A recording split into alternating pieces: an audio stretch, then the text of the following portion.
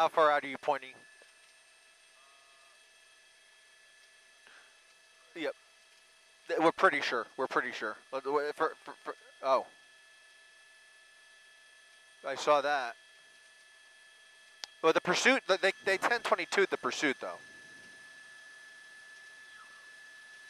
I know, but that might that, that, that chippy means nothing. I'm saying to stay on that Jeep Cherokee until Alright. we hear otherwise. I don't want to lose that Jeep. Yeah. Most of the time, they don't even know who they're chasing.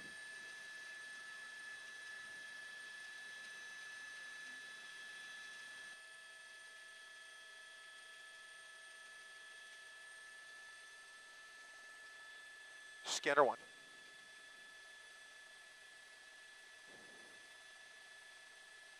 Yep. That's it.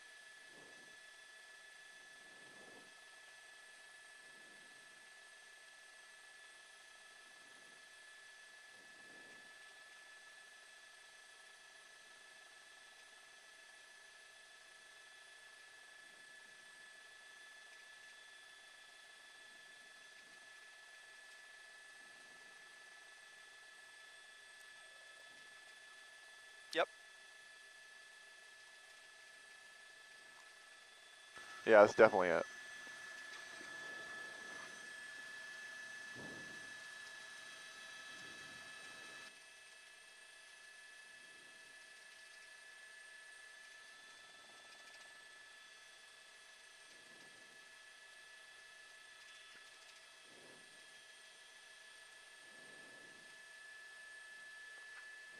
Speed tracker.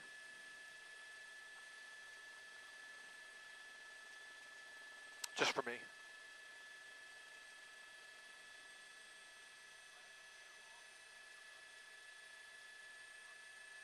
Cool. I'll let you. Will do.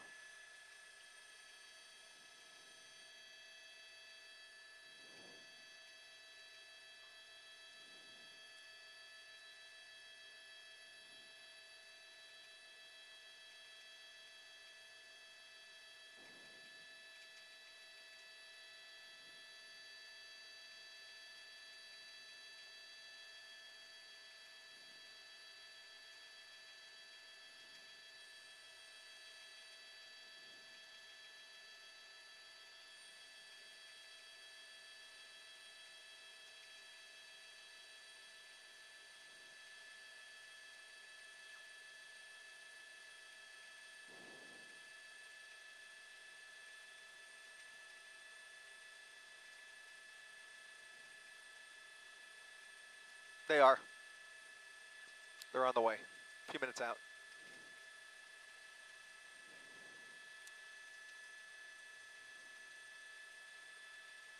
Copy.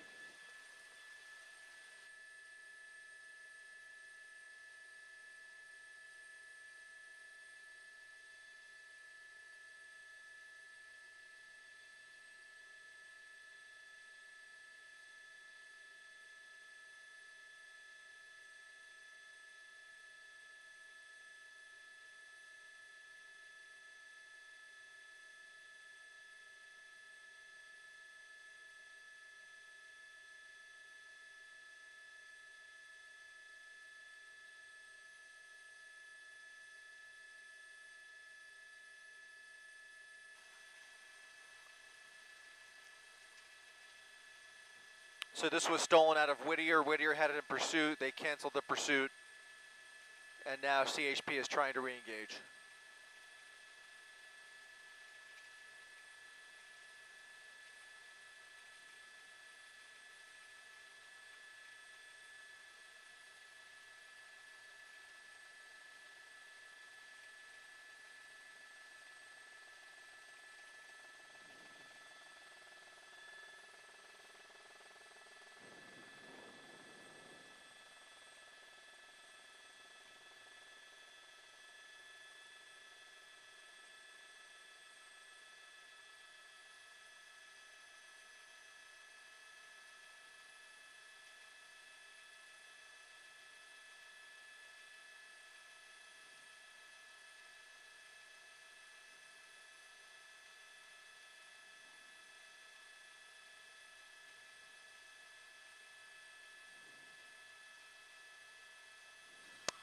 Well, I guess now's the time. We could uh, try to look through the front window to see if there's any other passengers or anything, or Oh yeah, yeah. see what, if it's a male or a female. get in front of it. If this guy gets lit up and he he leaves, Yeah, th- no, you're right. This is a good opportunity.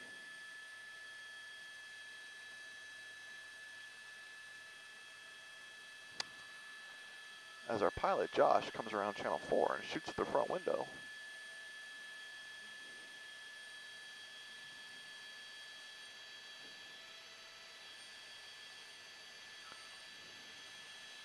Okay, let's see what we got here. There we go. Nice, Josh. Yeah, keep on coming.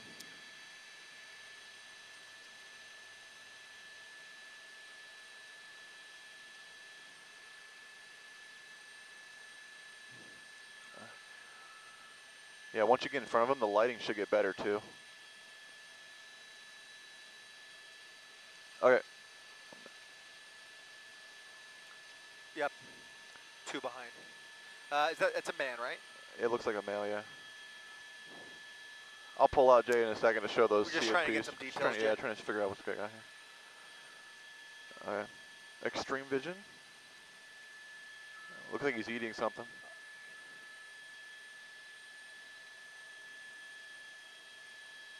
Eating, eating something. Yeah, I can't tell if there's a passenger. It's we're too high. Copy. It's all good. Let's see what we got.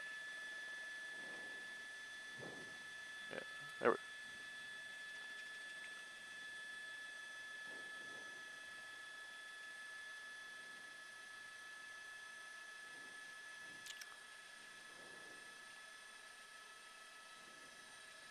Looks like he's alone.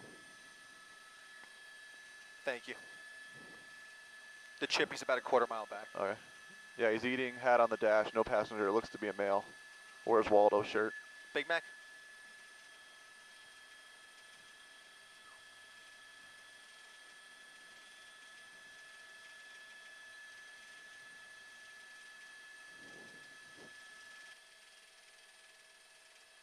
Getting off. Ooh, over the gore point.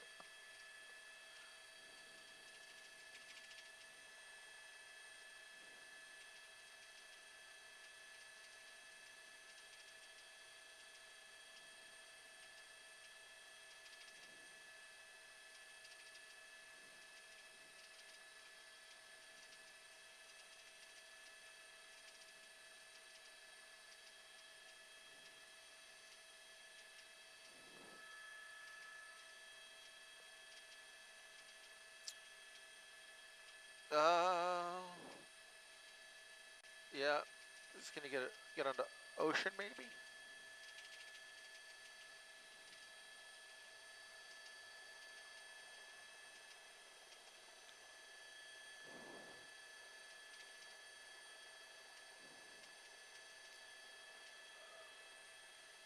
Coming this way. Is he south? Southbound Pico.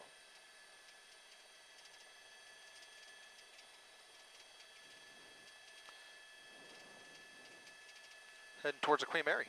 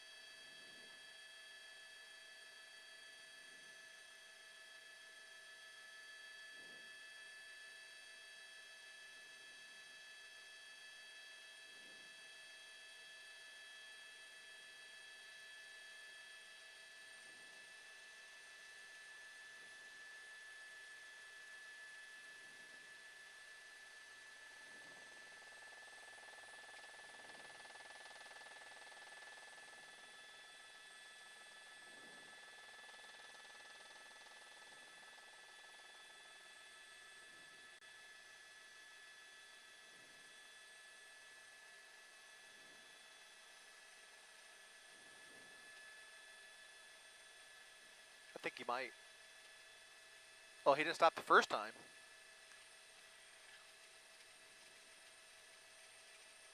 Through the stop sign.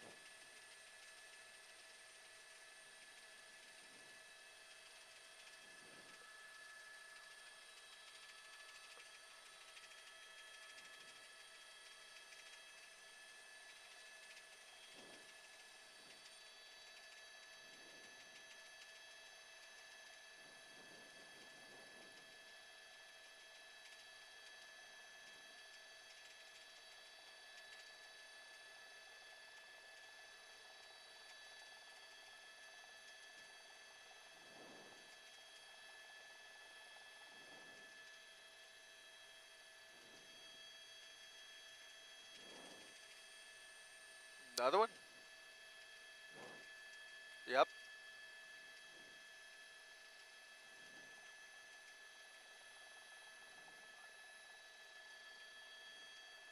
Oh, look at that. Interesting.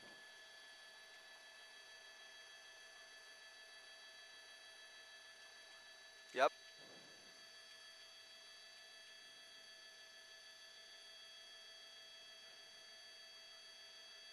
A little tight.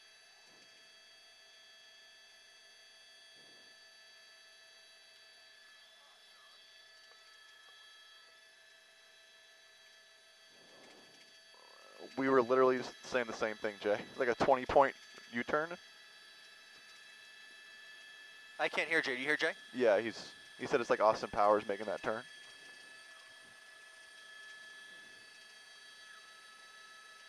Oh, look at that. Yeah, he knows something's up. Interesting. It's like a.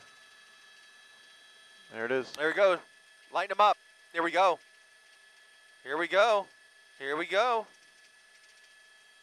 CHP lighting him up. Is he pulling over? No, he's going. He's going over the tracks.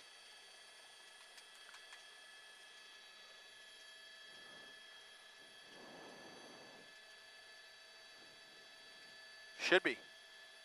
Under the overpass there. That is the what?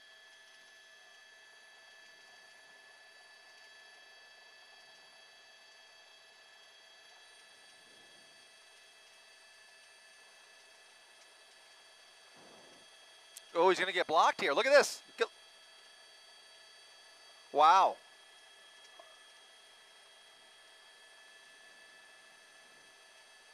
Back on Anaheim. Oh, this guy's going nuts.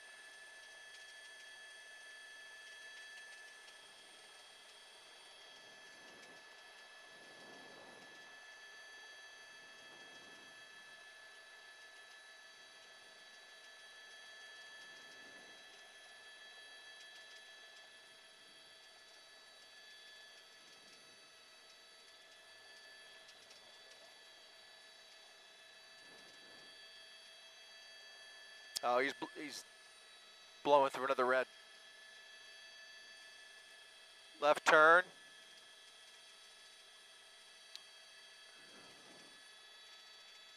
They taking us, Jay? Are they taking us? Copy.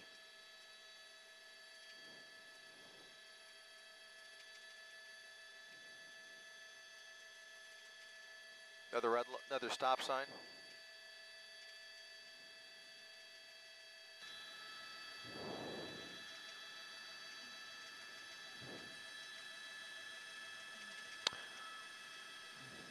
Southbound PCH.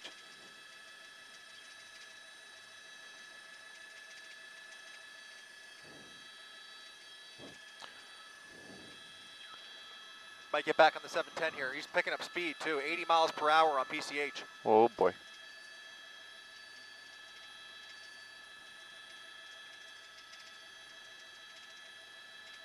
I just lost ICOM. Oh, there you go. FM1. I got it.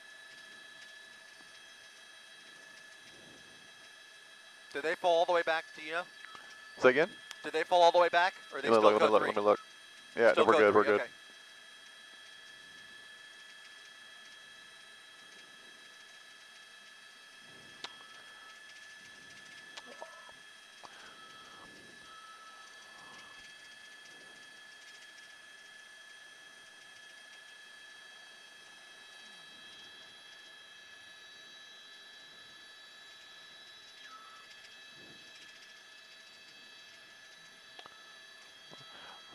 Right off the nose, Josh. 12 o'clock. We're good.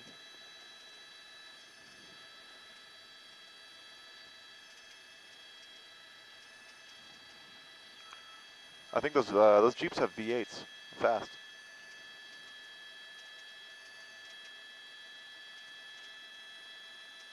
Can you lower the air, Josh?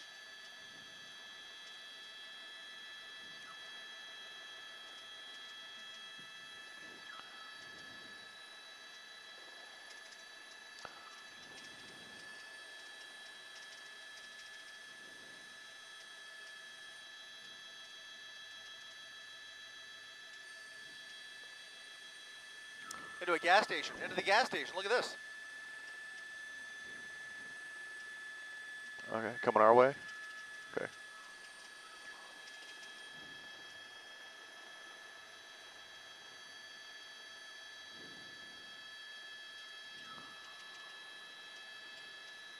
Ten four, twenty away.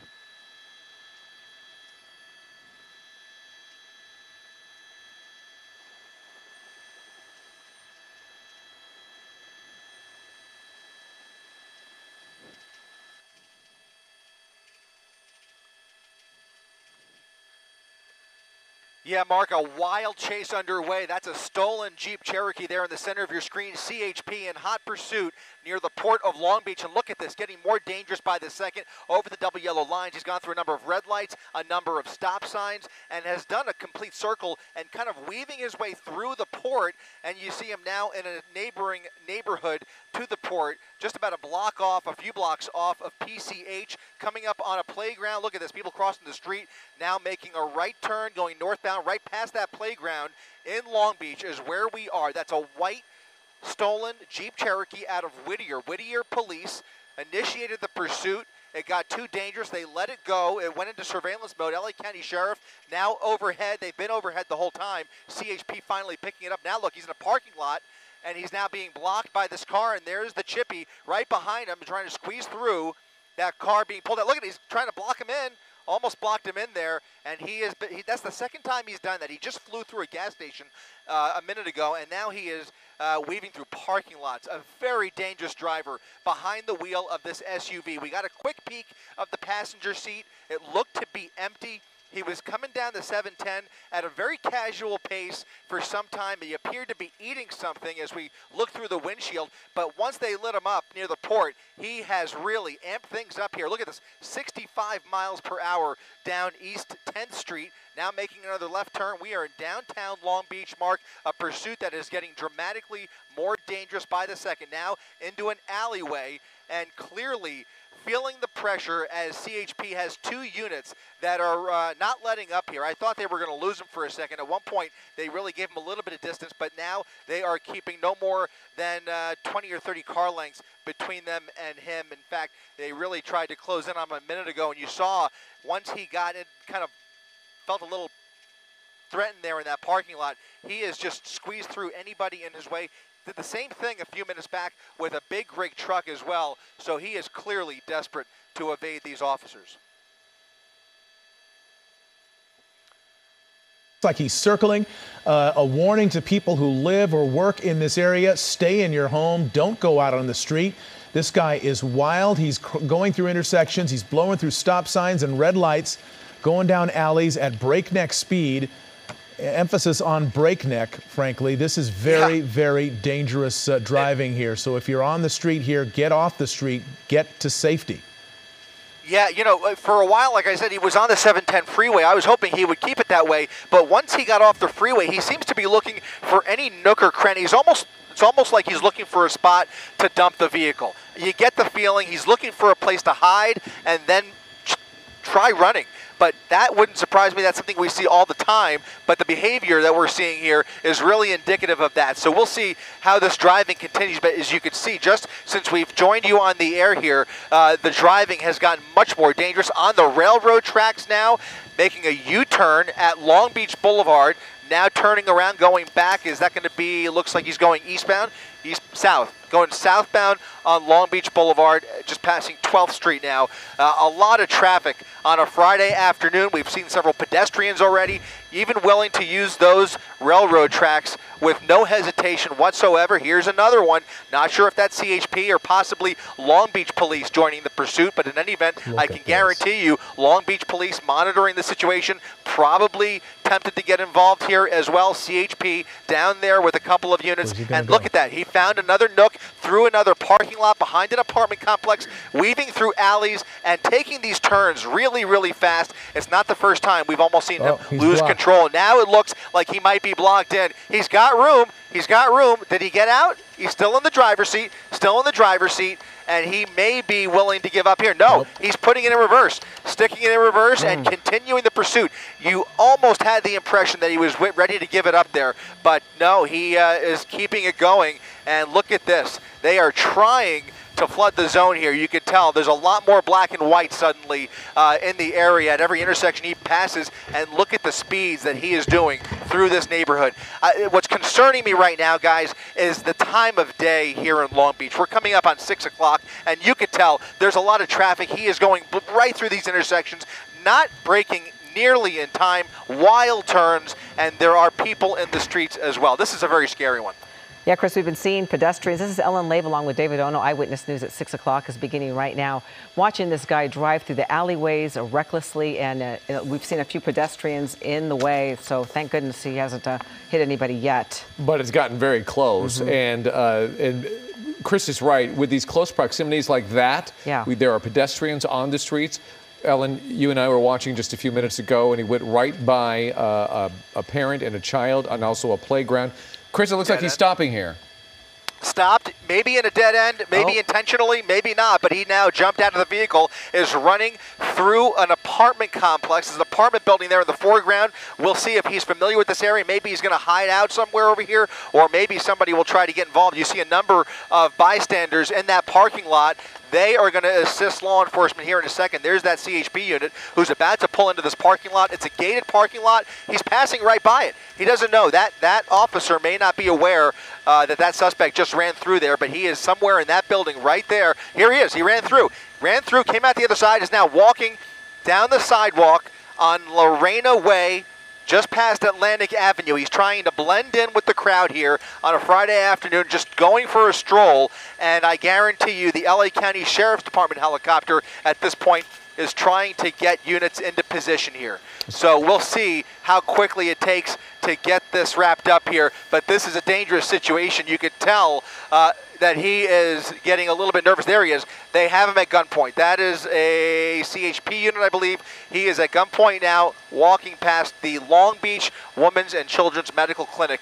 Right there. He is being taken down.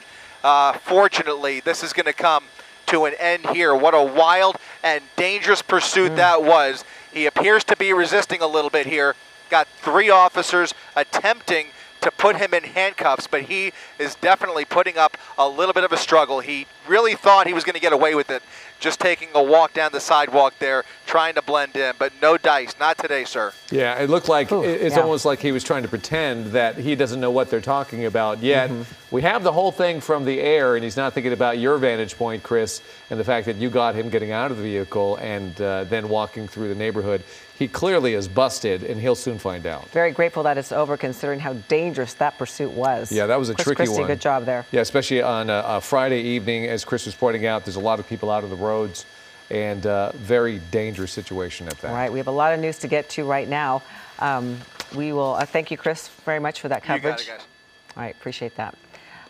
Well, millions of ballots have already been returned across Southern California ahead of Tuesday's election. And today, hundreds more early voting centers opened, allowing voters to cast ballots at some iconic locations. And Eyewitness News reporter Leanne Suter is live at uh, Bank of California Stadium and Exposition Park with more on this story. Leanne. Yeah, that's right, you guys. The home of the LAFC here you see behind me here. This is just one of the famous LA locations where you can now vote. Go LAFC! A team cheer after casting their ballots at the Bank of California Stadium. I am a big LAFC fan, and so I was really excited. I miss coming to the games, and I'm representing my sports crew, Los Tigres del North End. and I'm just, you know, here voting for our community.